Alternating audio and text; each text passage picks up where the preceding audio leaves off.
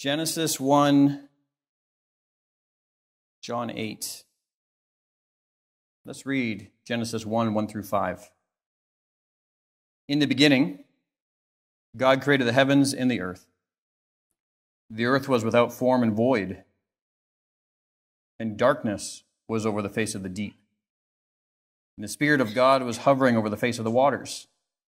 And God said, Let there be light. And there was light. And God saw that the light was good. And God separated the light from the darkness. God called the light day, and the darkness he called night. And there was evening and there was morning the first day. Notice it says there that the earth was without form and void, and darkness was over the face of the deep. That is, before God ordered his creation, it says that it was formless and it was void. That is, there was disorder, there was darkness, there was the untamed deep. Prior to creation being declared good, God had to bring it into order. And how did he do it? He brought forth light. He brought forth light to dispel the darkness. He set the boundaries of the waters and thereby ordered the chaos. Primary to God's ordering work was the creation of what? Light. Light for the dispelling of darkness. It was only once he separated the light from the darkness that he could declare it as good. We start here because from this account in Genesis, a host of metaphors uh, are introduced into the biblical record. From this creation account arises a myriad of metaphors used for the concepts or, or uses of the concepts of light and darkness from Genesis to Revelation. Darkness from this point forward comes to signify disorder, disorder of every kind. Darkness is said to disorder and to destroy and to disfigure and to deflect glory away from God. That's how darkness is seen throughout the rest of Scripture. While light, on the other hand, is said to order and create and beautify and reflect the perfect nature of God. Throughout Scripture, darkness and light also take on spiritual and moral components. Darkness represents evil. It represents sin. It represents the power of Satan. Whereas light, on the other hand, represents holiness and purity and the perfect nature of God. Fast forward all the way to 1 John, which is almost at the end of Scripture, and we read this. This is the message we have heard from him and, pro- and proclaim to you that God is light, and in him is no darkness at all. If we say we have fellowship with him while we walk in darkness, we lie and do not practice the truth. But if we walk in light, as he is in the light, we have fellowship with one another, and the blood of Jesus, his son, cleanses us from all sin. In many ways, the entire story of Scripture from Genesis on can be seen as presented as a struggle between order and chaos, or between light and darkness. God subdues the chaos and separates light from darkness. But soon after, what happens in Genesis 3? Mankind sins. His fall is seen as plunging creation back into darkness and back into chaos. Chaos and darkness, which now again take on a moral and spiritual sense. As a consequence of Adam's sin, corruption spreads across all of creation. Mankind gives themselves over to sin and wickedness and so complete was their rebellion that the Bible could say in Genesis 6, verse 5, Yahweh saw that the wickedness of man was great in the earth, and that every intention of his heart was only evil continually. And Yahweh regretted that he had made man on the earth, and it grieved him to his heart. And then verse 11 of Genesis 6 continues Now the earth was corrupt in God's sight and the earth was filled with violence, and God saw the earth, and behold, it was corrupt, for all flesh had corrupted their way on the earth. Mankind had chosen sinful chaos. He had chosen sinful chaos over divine order. And so God prescribed judgment. He would once again allow the darkness and disorder of the chaos waters to prevail over the land. This time through a catastrophic flood It's as if mankind had rejected God's design for life and had no respect for his order of creation. And so God gave them over to chaos. God gave them over to darkness and destruction. You can imagine then during the flood how those thick rain clouds rolled in, blotting out the light from the sun so that darkness would prevail. The waters fall so that the chaos waters prevail once again, uh, really reflecting again the condition of creation before God called it good. Once the floodwaters receded in Genesis, God then makes a covenant with Noah. And what's the sign of that covenant? A rainbow in the sky. The promise is this, that as long as uh, human history continues, God would not again pour out judgment because he recognized that the sinfulness of man's heart was innate. If he were to pour out deserving divine judgment, he would have to eradicate the whole human race, end human history. But instead, in his mercy, he allows human history to continue, and he puts a sign of his covenant in the sky, a rainbow. What's significant about that? You can't have a rainbow without light. It's a sign that although mankind's sin had plunged creation into darkness, uh, he would always provide some light in the midst of that darkness. Sadly, however, mankind has not responded to God's mercy with obedience. He's not learned from the consequences of his sin. He's not acknowledged God by embracing God's creative order. Instead, what has he done? He's presumed upon God's mercy.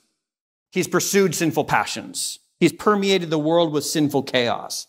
He's chosen chaos over order. This is the state of our culture today. Chaos over order, darkness over light. So that Paul in the book of Romans could describe man this way. For although they knew God, they did not honor him as God or give thanks to him, but they became futile in their thinking and their foolish hearts were darkened the heart of man came to embody the darkness. He was driven to disorder what God had ordered, to destroy what God had created, to disfigure what God has made beautiful, and to deflect all glory from God to himself. It was true in Genesis 6, and I think it's true in our day. Mankind, however, has not been alone in these efforts to destroy what God has created and disorder what God has ordered and disfigure what God has designed and deflect all glory from God. The Bible indicates that this love for darkness is shared by some shadowy elements of the spirit world as well. Ephesians 6. For we do not wrestle against flesh and blood, but against the rulers, against the authorities, against the cosmic powers over this present darkness, against the spiritual forces of evil in the heavenly places. There's a pervasive darkness of sin, rebellion, chaos, and corruption which permeates the world. It's a darkness against, uh, it's a darkness uh, against the light of God's presence and God's design. It's a darkness which much of mankind loves. It's a darkness which Satan empowers. So, where do we see this practically? When men reject God in his design, they're walking in darkness. When they blaspheme God's name, when they live without a fear of God, they are walking in darkness. When they build themselves up in pride, thinking that they have no need for God, they are walking in darkness. When they mistreat one another with oppression and injustice, they are walking in darkness. When they devalue others who are made in the image of God, they are walking in darkness. The person Frank, let's get real practical. The person who spreads gossip and slander against others is walking in darkness. Let's get real practical. The liar. How about this? The lying politician is walking in darkness. The dishonest businessman is walking in darkness. The employee cheating his employer is walking in darkness. The shoplifter is walking in darkness. The person consumed with jealousy at the success of others is walking in darkness. The person constantly arguing online and creating division and discord is walking in darkness. The person who shows no empathy or no mercy towards others is walking in darkness. The person uttering obscenities is walking in darkness. The person harboring bitterness and unforgiveness towards others is walking in darkness. The person who creates division, stirs up strife in any form, is walking in darkness. The person who's always losing their temper is walking in darkness. The disobedient child is walking in darkness.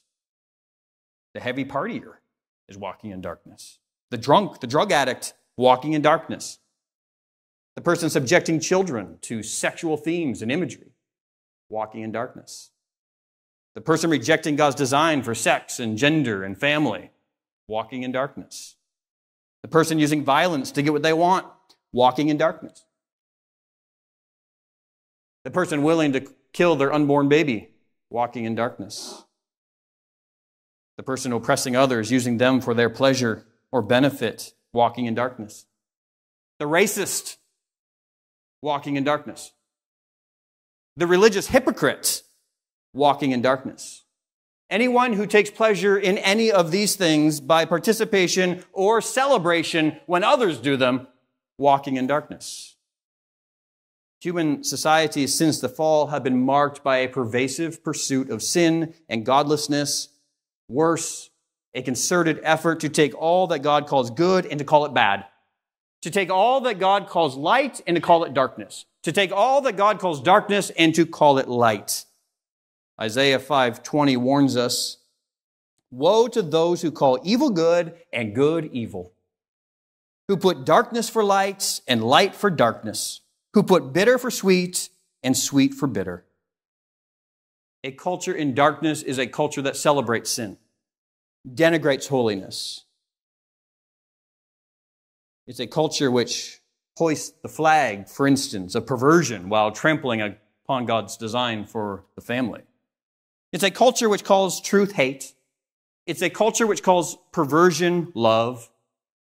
It's a culture which calls mutilation affirmation.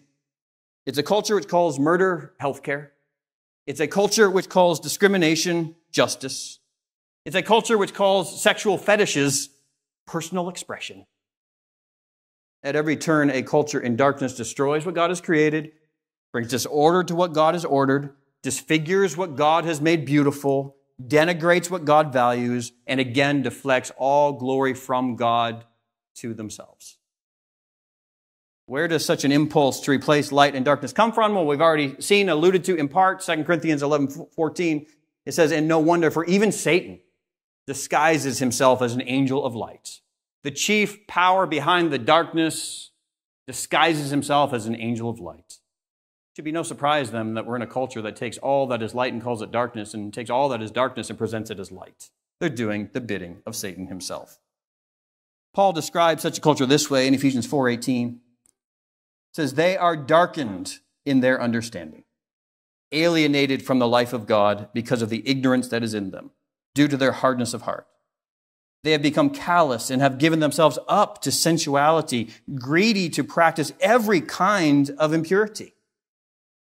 And so we learn that mankind in his natural state is in darkness and loves darkness and spreads darkness.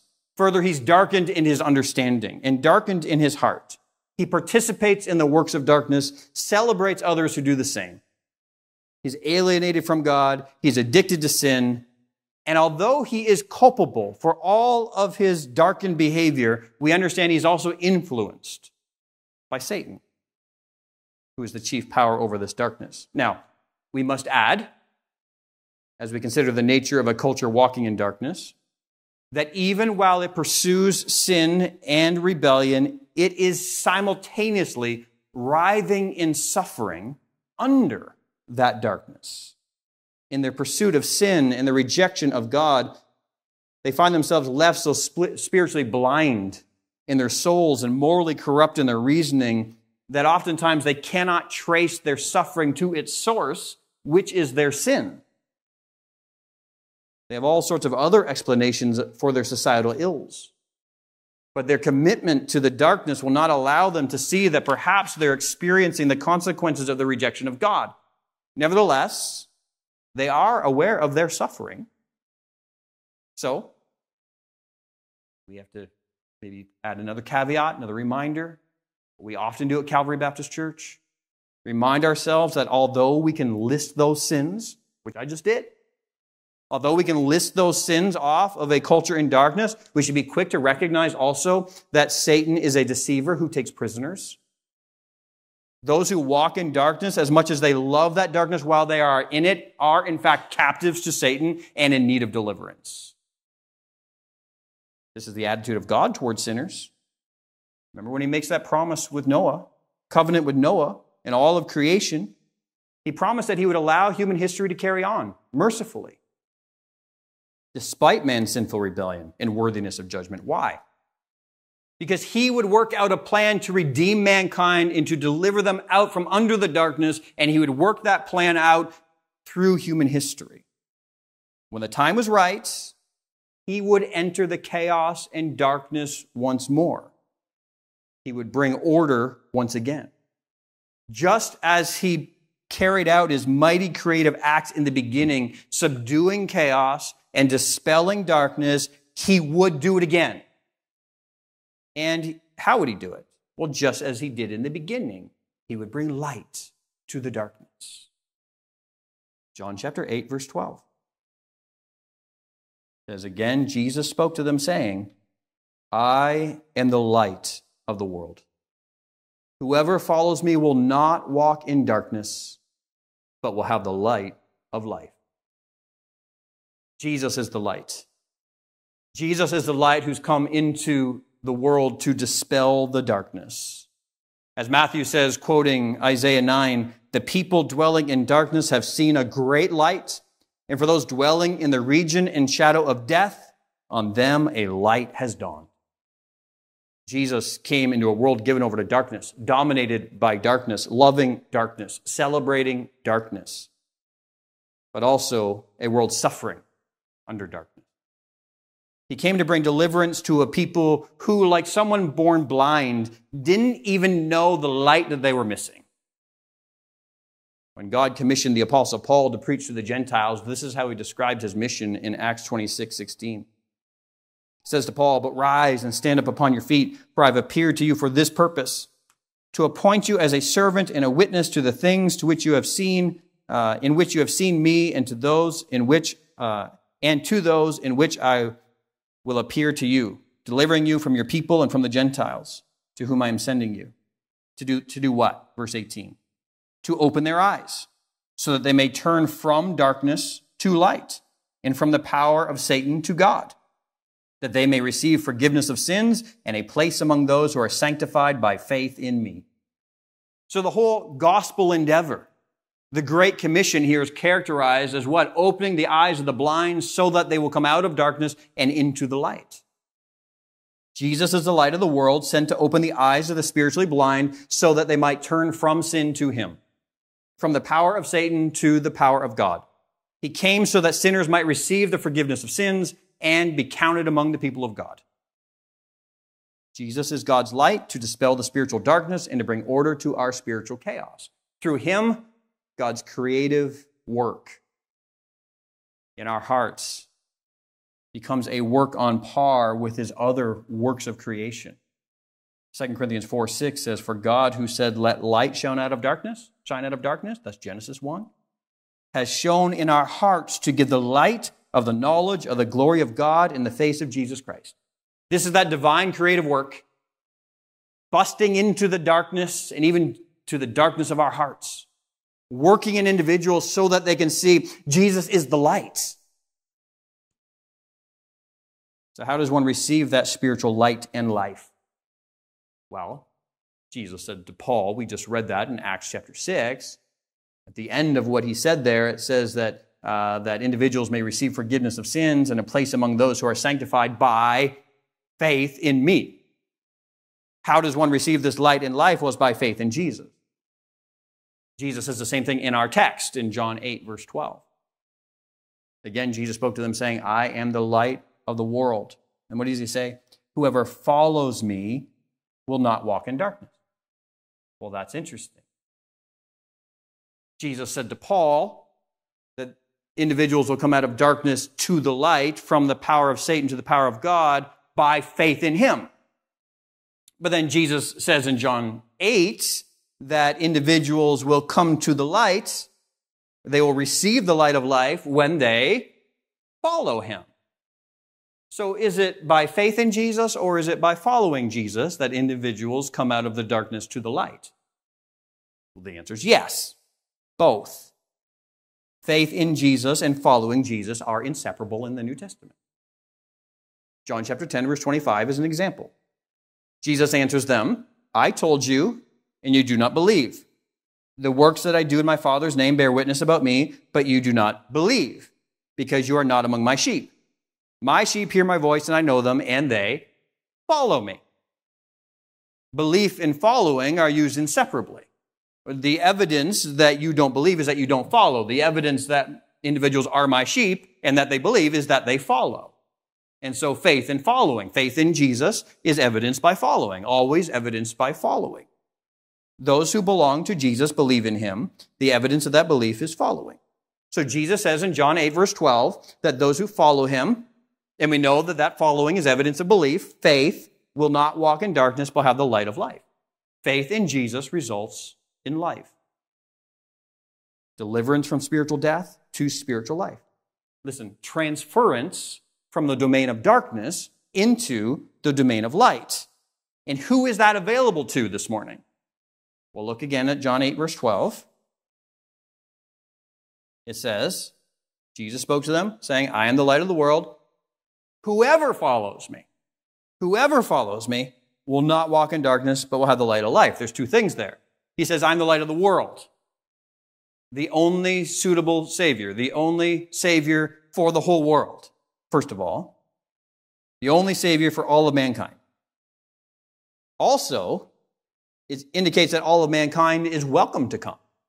He's the only Savior for all of mankind, and, and anyone the world over is welcome to come. Doesn't matter who you are. And so this morning, that invitation is extended to everyone here this morning. But also notice in John 8 12, it says that he is the light of the world, and whoever follows him will not walk in darkness, but have the light of life. This means that although this is a universal invitation, there must be a personal appropriation.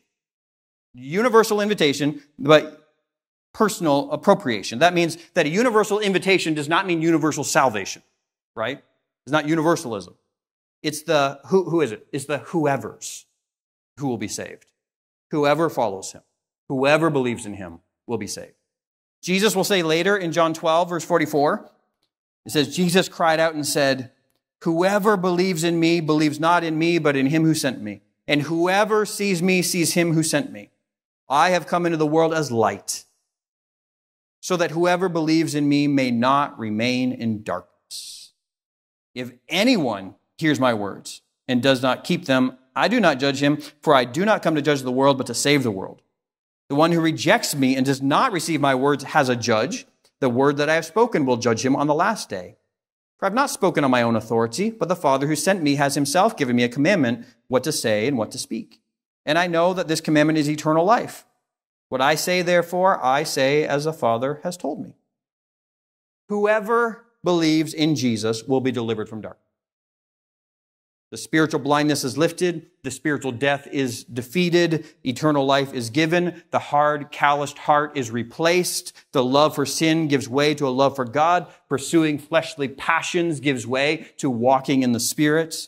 But notice again, Jesus in John 12, 47, we just read it, like in John 8, 12, says that belief in him is accompanied by following him. John 8, 12, whoever follows me will not walk in darkness. John 12, 47, those who believe in him will, what does he say? Keep his words. An ongoing obedience to Jesus, an ongoing following of Jesus. So, Jesus coming as light means that when people believe in him, they are coming to that light and are transformed. Those who believe in him are changed. They no longer follow things associated with darkness. But they do what? They keep his word. They follow. It's for this reason that we find many passages in the New Testament written for the church, encouraging believers, those who have come to Jesus, those who have been transferred from the domain of darkness to the kingdom of light, to live like it. Examples. Colossians chapter 1 verse 9. By the way, in a minute we're going to turn to Ephesians 5, and you can actually turn to Ephesians 5 because it's a little bit lengthier passage. But Colossians 1, verse 9 says, And so from the day we heard, we have not ceased to pray for you, asking that you may be filled with the knowledge of his will and all spiritual wisdom and understanding, so as to walk in a manner worthy of the Lord, fully pleasing to him, bearing fruit in every good work, and increasing in the knowledge of God, being strengthened with all power according to his glorious might for all endurance and patience with joy, giving thanks to the Father who's qualified you to share in the inheritance of the saints in light. He has delivered us from the domain of darkness and has transferred us to the kingdom of his beloved Son, in whom we have redemption, the forgiveness of sin. So Paul encourages the Colossians check your life, walk in a manner worthy of the Lord. There ought to be real, substantial change. You live in a way that's fully pleasing to Him. After all, we are to be following Him. We are to be keeping His words, fully pleasing to Him. Bear fruit in every good work, increasing in the knowledge of God. And, and what, why? What, what's our motivation here? He says, because He's delivered you from the domain of darkness.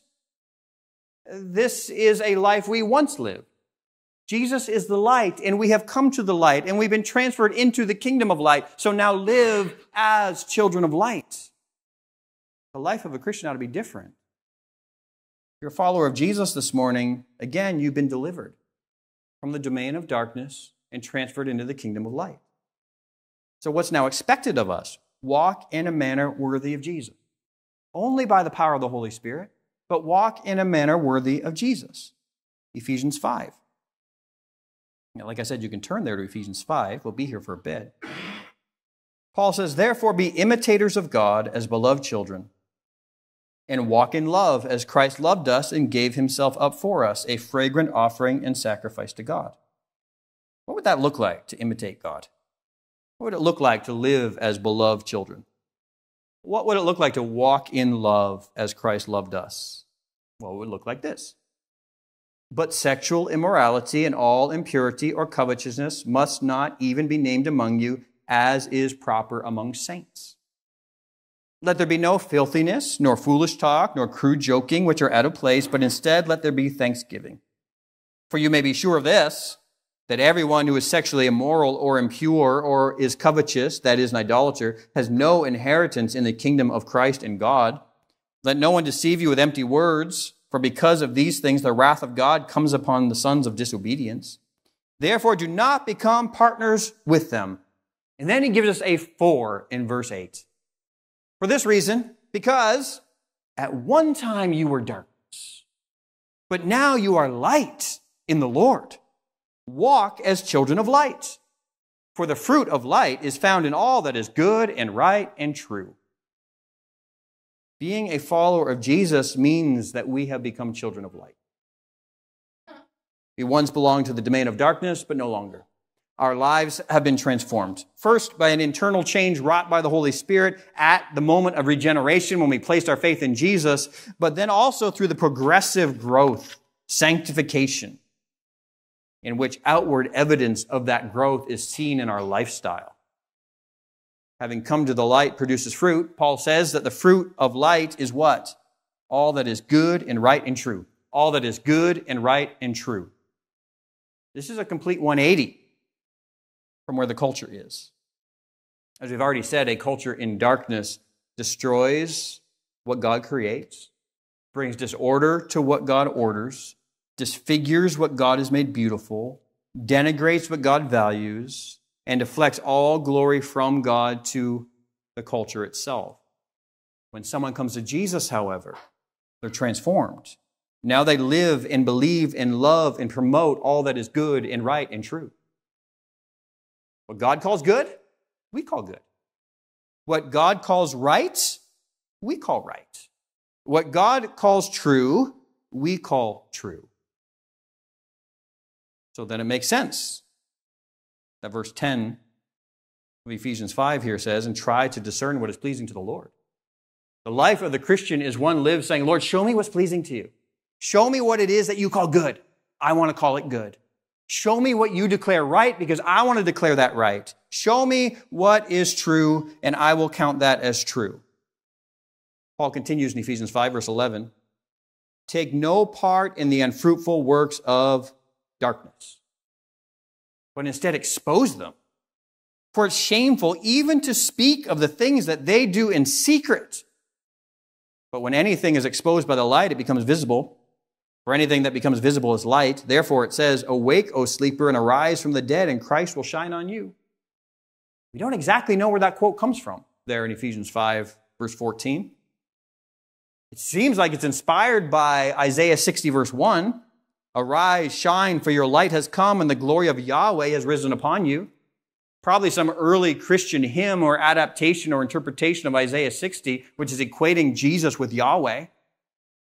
Here, Jesus presented equal as Yahweh. Through him, it says we have been brought out of darkness and into spiritual life. And so, what's Paul saying in all of this, Colossians and Romans and Ephesians? He's saying, You have been brought out of darkness into light, so live like it. So live like it. He continues in verse 15 of Ephesians Look carefully then how you walk, not as unwise, but as wise, making the best use of your time, because the days are evil. Therefore, do not be foolish, but understand what the will of the Lord is.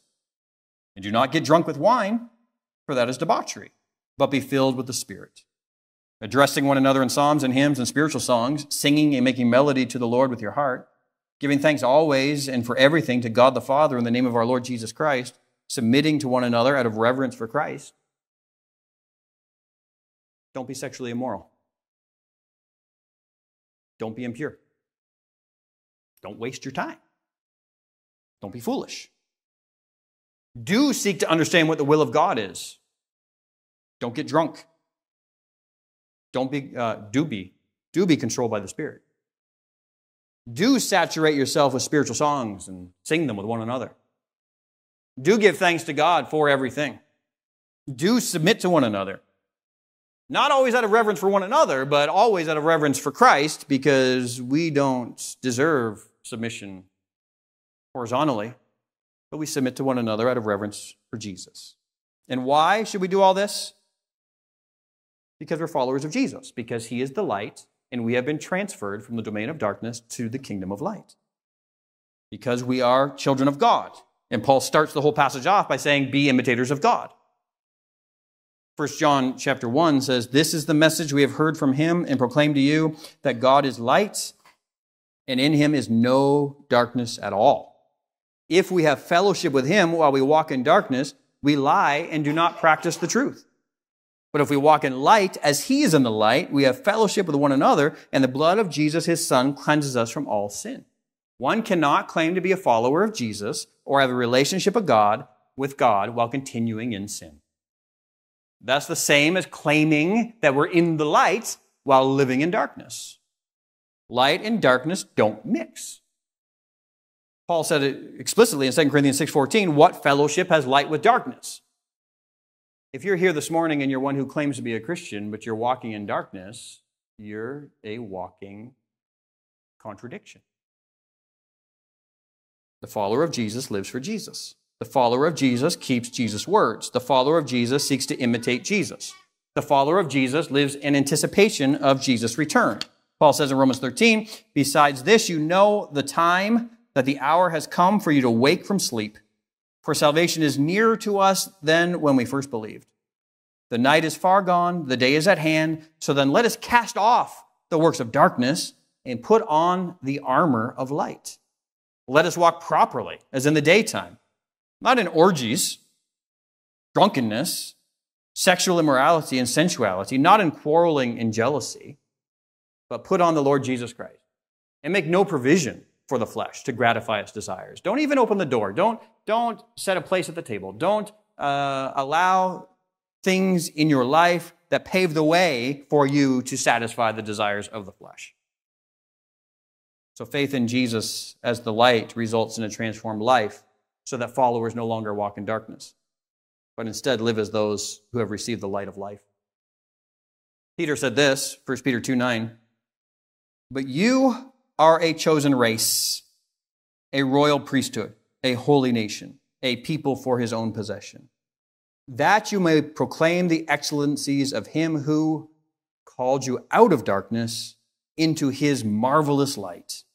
Once you were not a people, but now you are God's people. Once you had not received mercy, but now you've received mercy.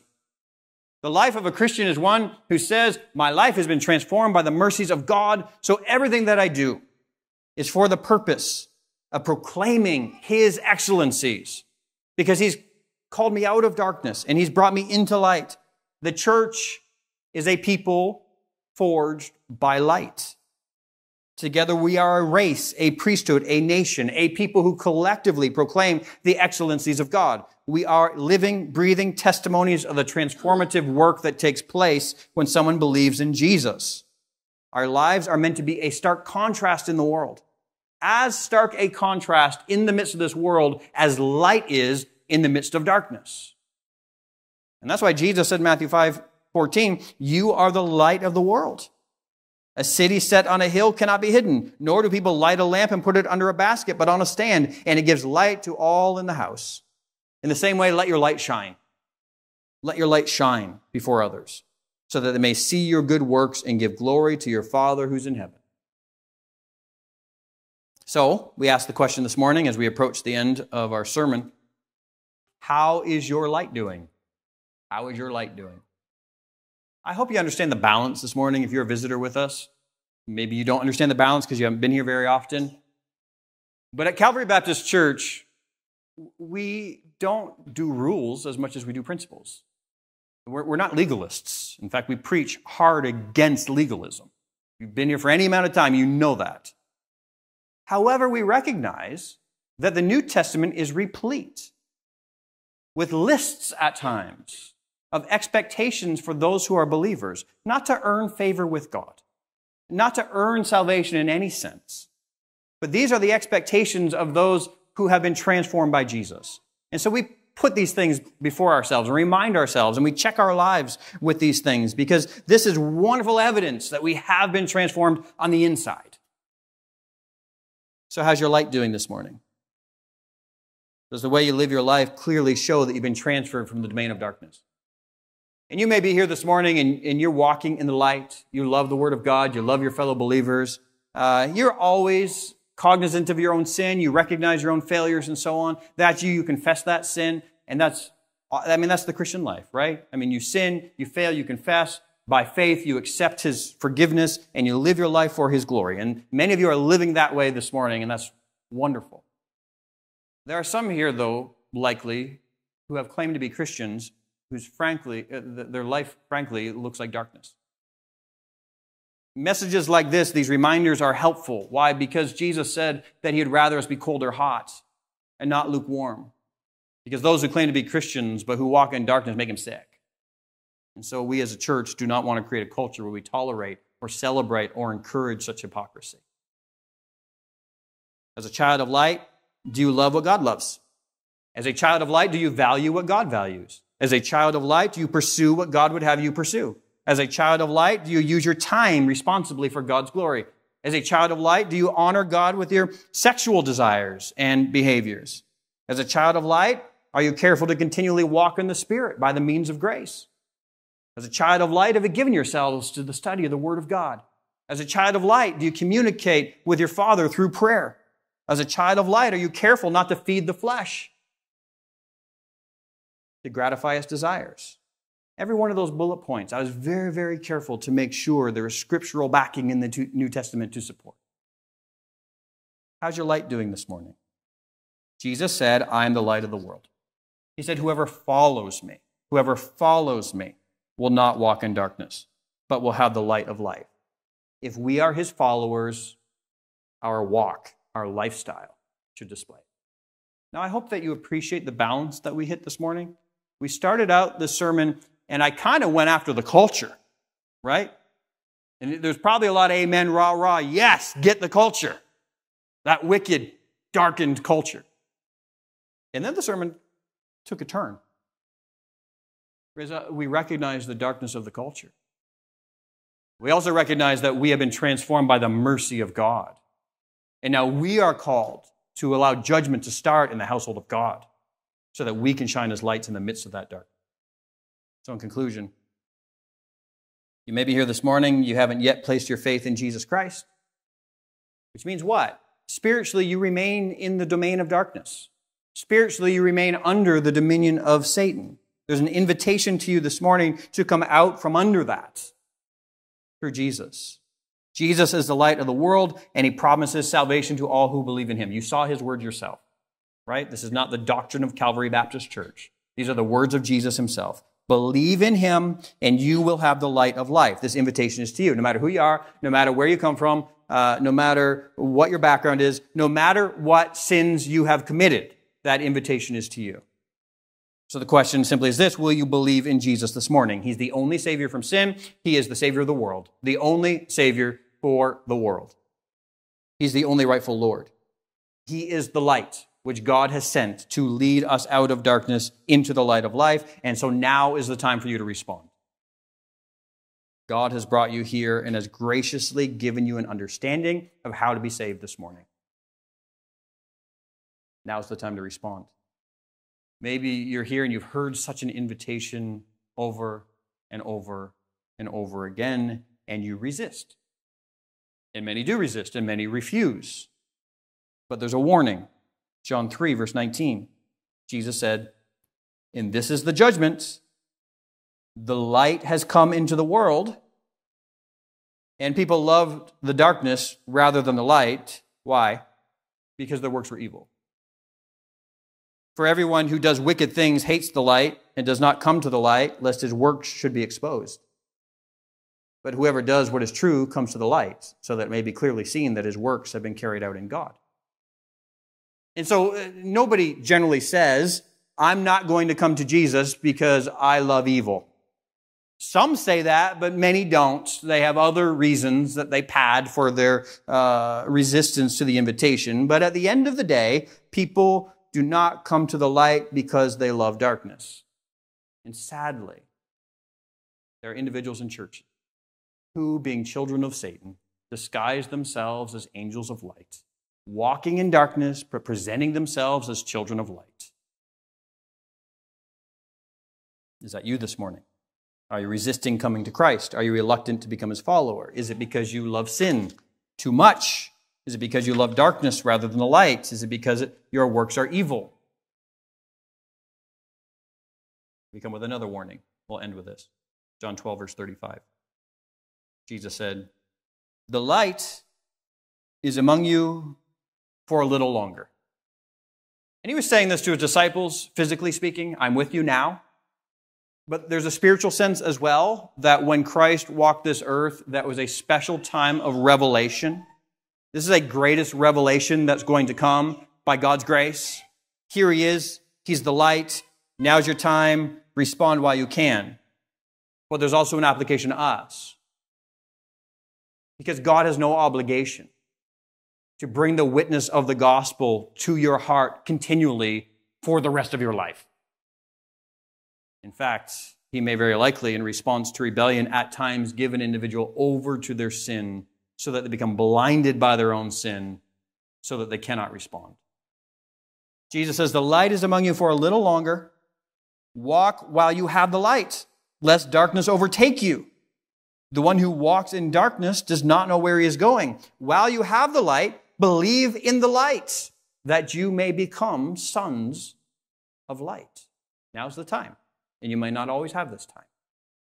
For the rest of you who have believed, you are Christians, simply say this walk, walk as sons and daughters of light. Let's pray. Father, we thank you for Jesus, the light that you sent into darkness. We recognize the human condition. We recognize the state of our own souls prior to salvation. Lord, we were lost. We were alienated from you. We were separated from your goodness. We had no relationship with you. We were in the world, hopelessly lost, finding, attempting to find joy and happiness and satisfaction and fulfillment in the things of the world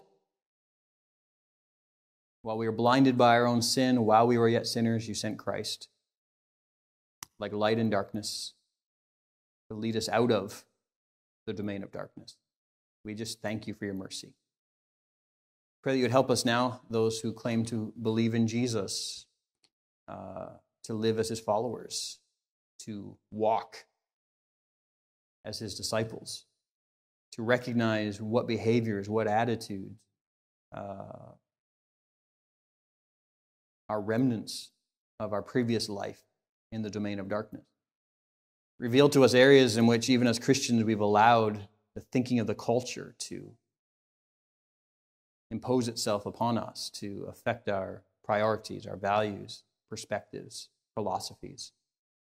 Help us to see clearly those areas in which we've allowed darkness to creep in. Help us to take these many encouragements and admonitions in the New Testament that encourage us to live a different lifestyle. Help us to recognize these for what they are not rules to keep in order to earn your favor, but an understanding of what it is to evidence our salvation, what it is to live as those who follow Jesus. And we know that this is not a works based salvation because all of this is the product of the Holy Spirit.